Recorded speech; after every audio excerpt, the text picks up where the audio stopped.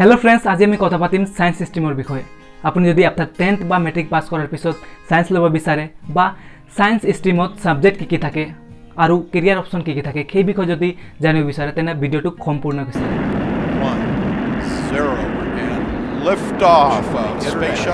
Station. Science stream লোৱাৰ আগতে এইটো জানি লোৱা যে মেট্ৰিকত ছিক্সটি পাৰ্চেণ্ট পাৰ্চেণ্টেজৰ ওপৰত পোৱা ষ্টুডেণ্টসকলে ছায়েন্সত এডমিশ্যন পায়। মানে ফাৰ্ষ্ট ডিভিজন লাগিব। যদি আপুনি পঢ়া শুনাত ইমান ভাল নহয় তেনেহ'লে ছায়েন্স ল'ব নালাগে। আৰু সঁচাকৈ আপুনি যদি পঢ়া শুনাত ইণ্টাৰেষ্ট আছে আৰু ছায়েন্স ল'ব বিচাৰে আৰু জীৱনত ডক্টৰ ইঞ্জিনিয়াৰ নিচিনা ডাঙৰ সপোন আছে তেনেহ'লে নিশ্চয় ল'ব লাগে। আৰু ছায়েন্স ষ্ট্ৰীম লোৱাৰ আগতে ছায়েন্স ষ্ট্ৰীমত ছাবজেক্ট কি কি থাকে জানি লোৱা। এতিয়া ছায়েন্স ষ্ট্ৰীমৰ ছাবজেক্টৰ বিষয়ে জনাৰ আগতে এইটো জানি লোৱা যে ছায়েন্স ষ্ট্ৰীম দুটা ভাগত ভাগ আছে নন মেডিকেল আৰু মেডিকেল তো যিসকল ষ্টুডেণ্টে ছায়েন্স ল'ব বিচাৰে কিন্তু মেডিকেল লাইনত বা ডক্টৰ লাইনত যাব নিবিচাৰে তেওঁলোকে নন মেডিকেল ল'ব লাগিব। আৰু যিসকল ষ্টুডেণ্টছে ডক্টৰছ হ'ব বিচাৰে তেওঁলোকে মেডিকেল ল'ব লাগিব। চ' প্ৰথমে আমি জানি ল'ম নন মেডিকেলত ছাবজেক্ট কি কি থাকে। নন মেডিকেলত কম্পালচৰি ছাবজেক্ট থাকে ফিজিক্স মানে পদাৰ্থ বিজ্ঞান কেমেষ্ট্ৰি ৰসায়ন বিজ্ঞান মেথমেটিক্স মেথমেটিক্স মানে হৈছে গণিত ইয়াৰ পিছত আহি যায় ইংলিছ।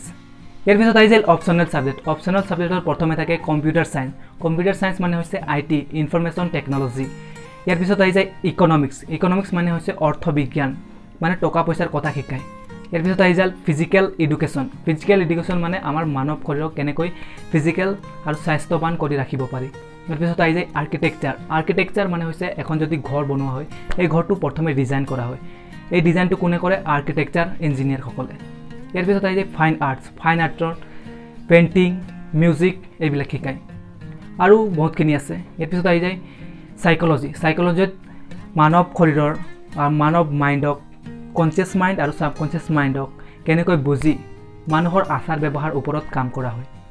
এতিয়া আহি গ'ল মেডিকেল মেডিকেলত কম্পালচৰি ছাবজেক্ট থাকে ফিজিক্স কেমেষ্ট্ৰি বায়'লজি বায়'লজি মানে হৈছে জীৱ বিজ্ঞান ইয়াৰ পিছত আহি যায় ইংলিছ অপশ্যনেল ছাবজেক্টত থাকে biotechnology mathematics physiology economics physical education ইয়াৰ পিছত আহি যায় হোম ছায়েন্স ছায়েন্স ষ্ট্ৰীমত কেৰিয়াৰ অপশ্যনত চালে নন মেডিকেল আৰু মেডিকেল দুটাৰে বেলেগ বেলেগ কেৰিয়াৰ অপশ্যন থাকে।